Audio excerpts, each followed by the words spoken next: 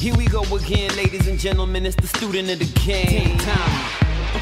Here we go again, ladies and gentlemen. It's the student of the game. Hey, what's happening, people? It's Tehn Diamond, aka the student of the game, coming to you from Singapore once again. Uh, it's Tuesday. I got um like two hours until showtime for tonight. Nice, easy night.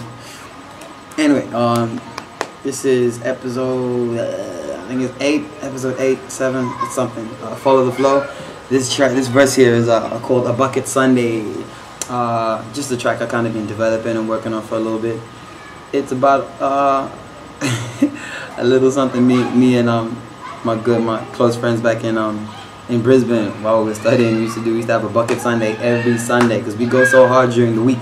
Because Thursday night was students' night and once you started on Thursday, you gotta go on Friday, and then you gotta go on Saturday. Then on Sunday, you're just a wreck, and you gotta fix it. So, a bucket Sunday is the perfect hangover cure. Um, it's all about the vitamin G, and there's three sources of vitamin G. So this verse, um, will tell you a little about, bit about the first one. Goon. Mm-hmm. here we go. Peace. Well, not peace. I'm still here. Just, you know what I mean. Life. The weekend can't stop when it started with a shot of the truth, so it's time to find truth in this bucket of goon. But what's goon? The finest source of vitamin G, the kind of vitamin you're gonna need to get over the aches and the shakes that you might have got up on Thursday, drinking the bar dry like your liver was thirsty.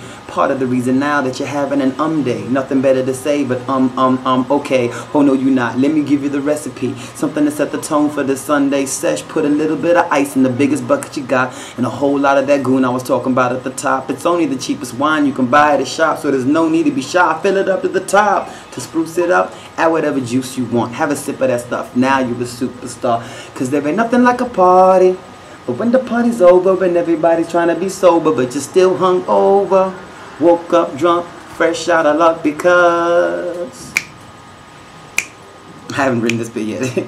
you got a class tomorrow, know that tomorrow is still so far away cause Mondays are only ever good on Tuesdays, but only because they lead to Wednesdays. Then we getting crushed on Thursday night. Cause Friday's right around the corner. Saturday, I do anything that I want. Get fresh, get dressed, get all kinds of fucked up. Wake up and it's a bucket Sunday. Peace. I'll be hitting you guys with um, another verse tomorrow. Maybe second verse of Bucket Sunday if I can write it tonight. We'll see. Later.